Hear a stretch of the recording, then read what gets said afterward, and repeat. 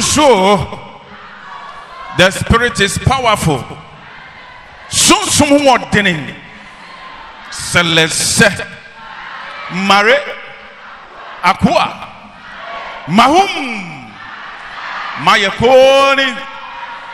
Allah. Bee.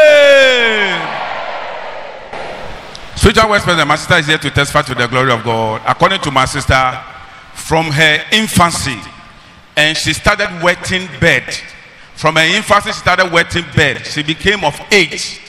Spiritual West President, she said because of that, whenever she travel, she doesn't want to sleep because when she sleep, she will disgrace herself. She will urinate, have to wear the bed.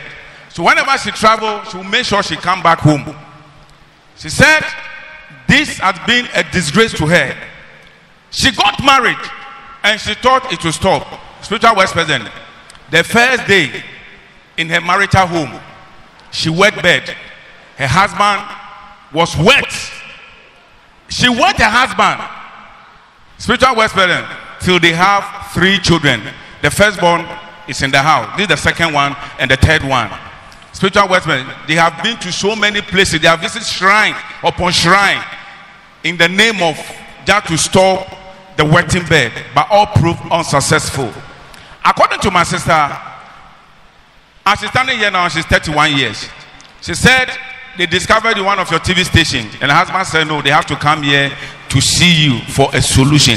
Through they came here to see you at Ministry Planner. You promised her that you are going to heal her from that wetting bed.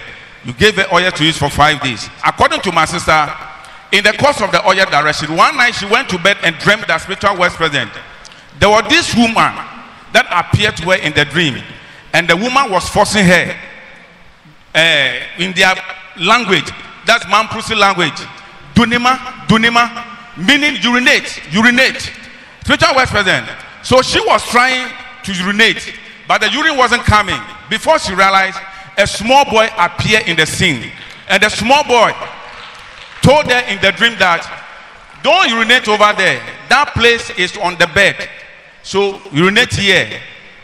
This is outside of the bed. So urinate here. The woman that is forcing you to urinate is the one who placed this wetting bed sickness on you. He said, You rebuke that woman, and the woman ran away.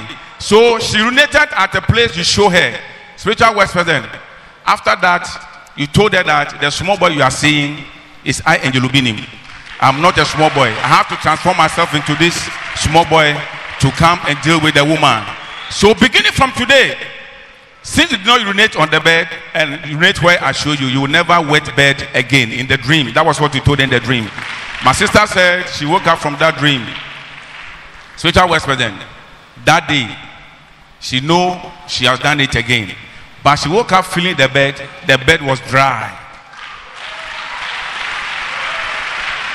The following day, she slept again, woke up, the bed was dry. It had never happened before because every day she wet bed. She waited for one week, she had never wet bed. Two weeks, she had never wet bed. One month, she had never wet bed. As she's standing here now, spiritual wet present, two years now, she has never wet bed. So she said, testify to the glory of God for such an angelic work performance.